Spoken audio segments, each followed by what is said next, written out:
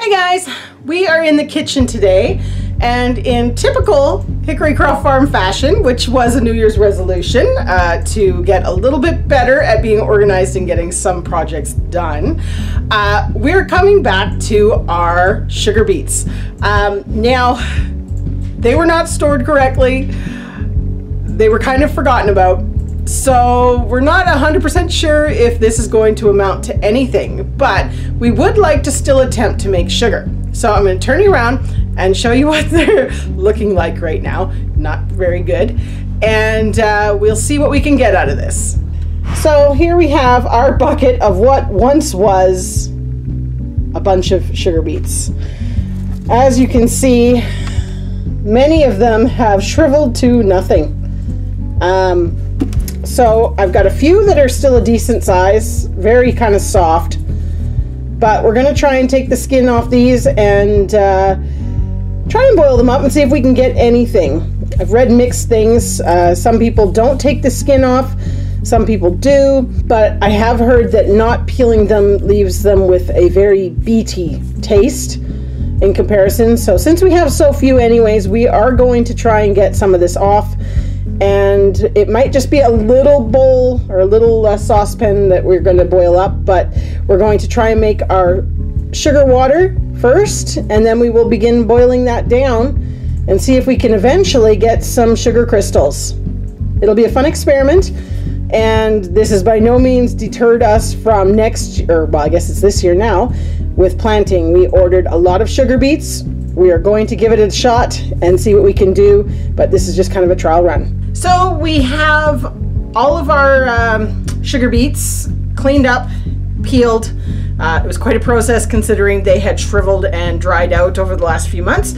Um, but anyways, we have salvaged a bit, so we're going to make a weight of that first and see what we started with and then kind of see what we get for sugar because that was part of the experiment. I am under no delusions. I think we might get a tablespoon of sugar out of this, but at least we will know it works and so on. So we're going through all this process for a very little amount of reward, but that's okay. So one thing we noticed was uh, after they were peeled, if the roots were exposed to air, much like a lot of uh, other vegetables, they actually turned, they went a blackish color, which uh, for extracting sugar we don't think will uh, affect them whatsoever, but that's why some of them look a little odd. So we're going to start with getting a weight of these. Now one thing that we have noticed as I let these sit for a while, the sugar has already leached into this water. So this is the water I am going to cook them in. So I'm just kind of taking them out of it to get a weight of the actual initial root. So I've got my scale off here or on now to weight to zero. Some of those black ones do look pretty awful, but you can see when I get down to the ones that were at the bottom that didn't get exposed to air, they are just fine. So I'm going to assume it's the same as potatoes. Doesn't matter if they do get exposed and go a little discolored. Actually, I have more than I thought. I don't know. Oh, let's get that out of there. I'm not sure if they're going to uh, fit all into this one container. But yes, this water, if you actually taste it, is very sweet already. Uh, as a side note, we did actually try eating one of these. We cut off a piece and did eat it. Man, it was like eating what would you call it? Like sugar. It was, it was like eating sugar. It was still beet texture, but it was definitely sugar. So we have almost three pounds. We're two pounds, 14 ounces. So almost three pounds. So my next step is going to be to run them through the grater portion of my food processor, which I won't take you through because it's very loud. Um, but I'll bring you back once I've got them all grated and they're going to go into our pot and like I said, I'm going to use the initial water that I had saved or I had them soaking in because of the amount of sugar that's already leached into that water. So we've got all of our almost three pounds of sugar beets uh, grated and into our pot. So uh, I transferred the um, water that they had been sitting in as well as added probably close to a liter and a half uh, so there's probably about two liters of water in here with the grated um, uh, sugar beets. So as you can see, there's a bit of discoloration with the exposure to the air. Uh, I'm not sure that that could have been avoided. I know this is not going to make a white sugar. We're not bleaching it. It's going to be more of a brown sugar anyways. So, as I said, this is our first time doing this total experiment. So, uh, you guys are along for the ride as we figure out uh, just how to do this.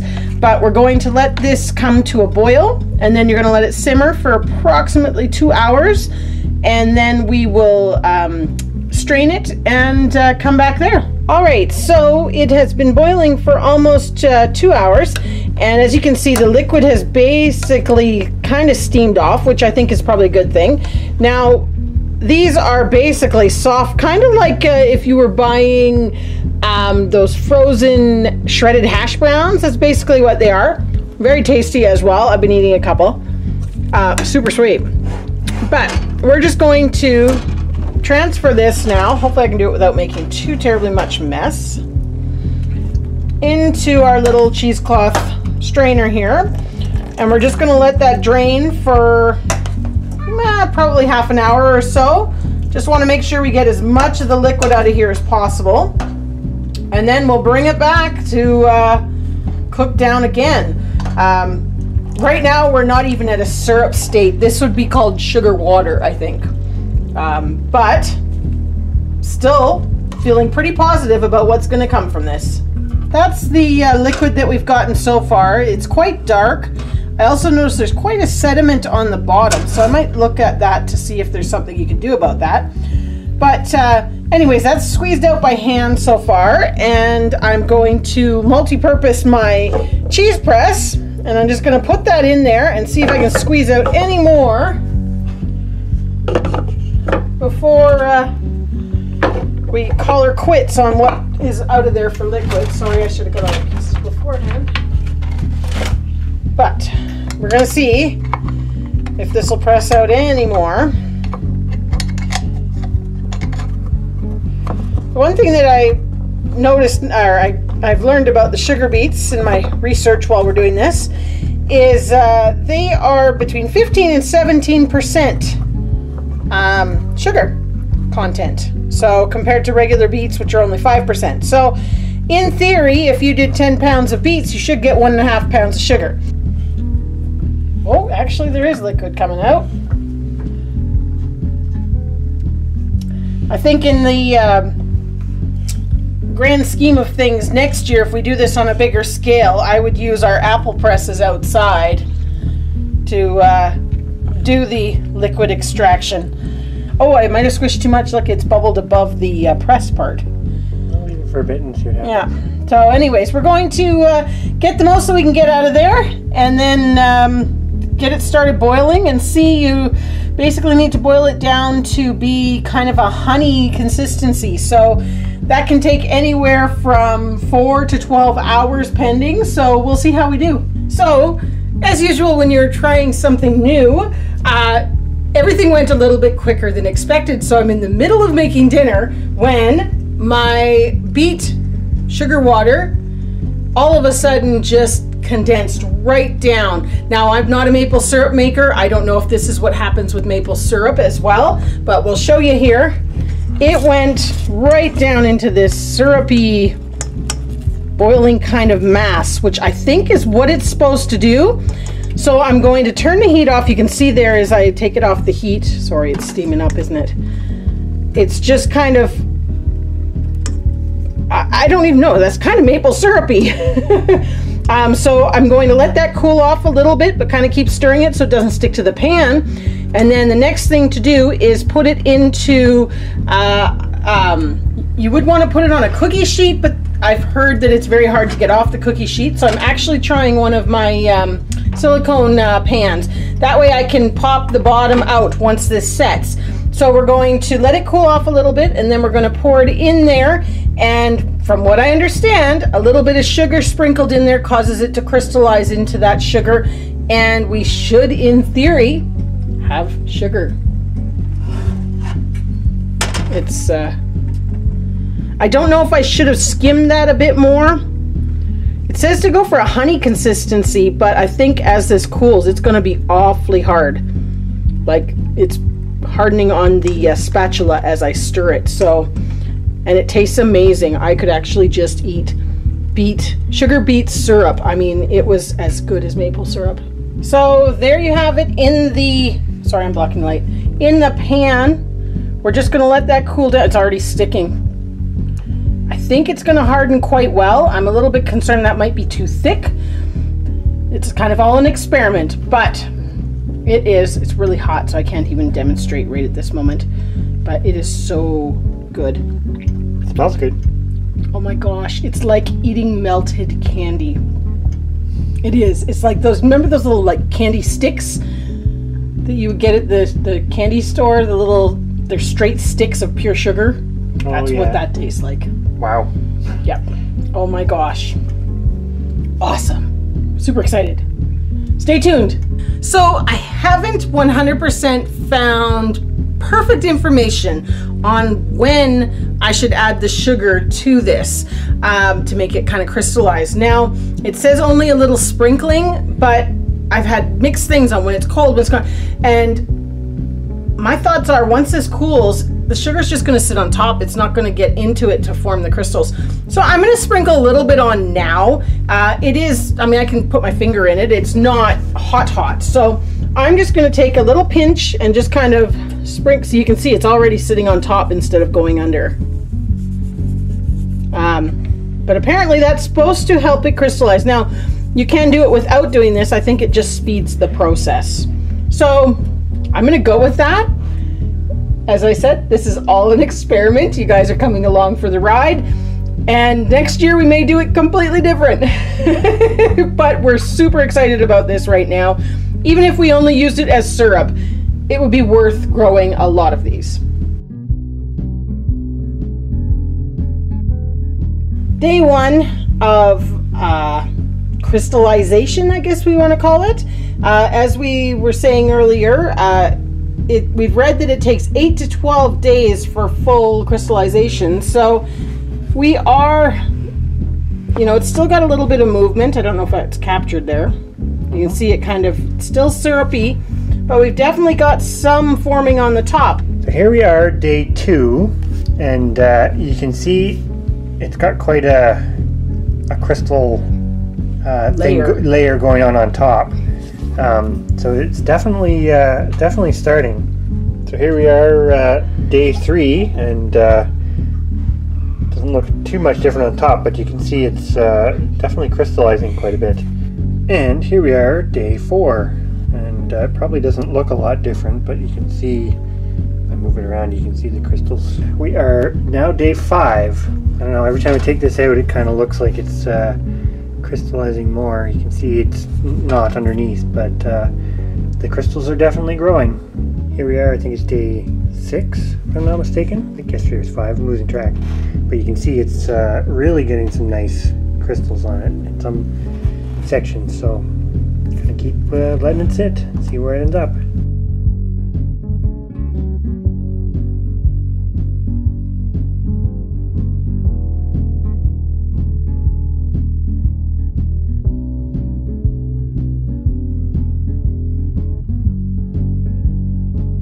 So we are on day 14, I believe now, and we finally, I think, have done it.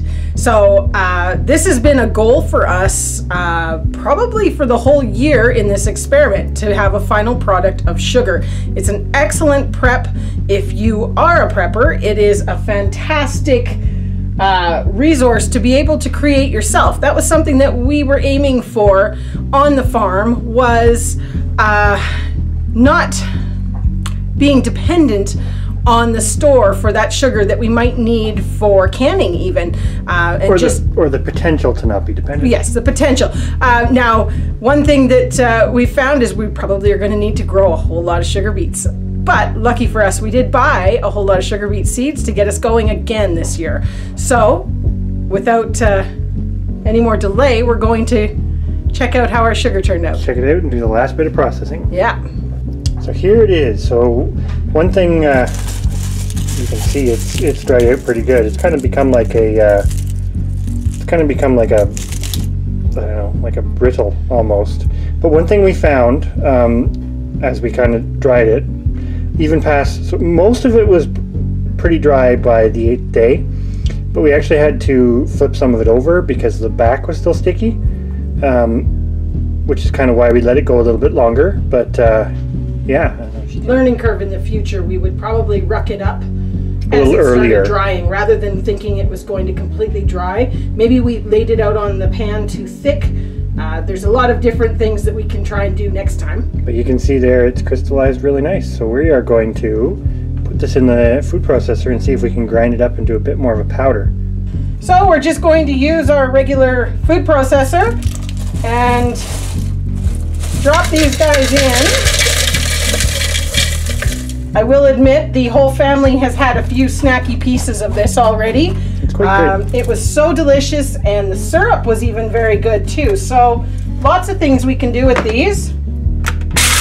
Whoa! Hmm. It may take more than this to break it up. So at the beginning we said this was an experiment. One thing I'm seeing now, which probably would have been a smarter idea, was to do this before it completely had dried. Um, now we're left with these really hard little crystals, which, I mean, it's either going into a baby fine powder, as you can see on my fingers, or we're left with these bigger crystals. So I'm not really sure the best method to go from here. I think grinding it up more is not the answer. I might take the mortar and pestle and uh, Yeah, just hand some of the smash it bigger up. ones. So that's uh, we tried this and it's working not too bad. So that's kind of about the size that we're left with, but we can uh, certainly grind it up here in the uh, mortar and pestle. Whoops, I have a little bit too many in here. Well, and you were just mentioning you would probably want a. Uh, I, I bet you if you had a grain grinder, you could do this easy. I bet you it would go through a grain grinder. Maybe. He's ground up a little bit there, and we just kind of shake it through.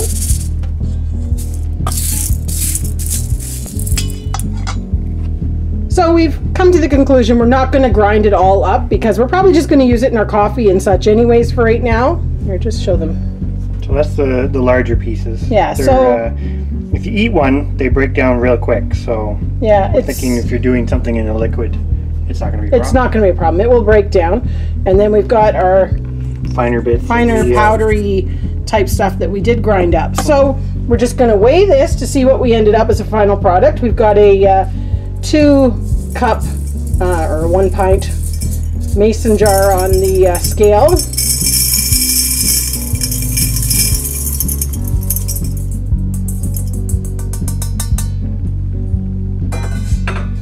I think we're maybe going to have a cup of sugar.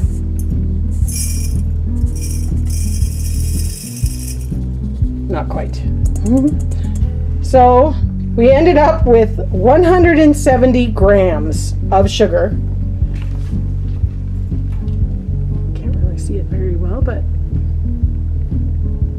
it's sort of like a brown sugar or a raw sugar, Mhm. I would say.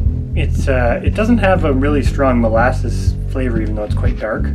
Um, it's quite um, it's sugar. It's sweet, but it's it's quite mild, and it doesn't really taste like beets at all. No, it's it's similar in the strength or sweetness level as maple sugar would be. Yeah, It's not still, that- It's different, but yeah, that's probably the most comparable thing. Mhm. So, So, all in all, final synopsis on the experiment, Chris? I think it's a plus, and we found Definitely a out a few little things along the way where it's like we were talking this morning. You might do some just as syrup. Mm-hmm. Um, heck, if you grow enough of them, I would just eat them. And the bonus, I don't think we actually uh, videoed the stuff that the pulp that we took out to the animals in the end no, they ate to it. feed. They loved it. Yeah, so you also get the byproduct, which is animal feed. So, all in all, Not too bad. we're going to give her a crack again this year, and we'll probably do up another video and see how we improve. Probably grow a lot more. Yes. But anyways, that's our little, uh, I don't know, sugar adventure.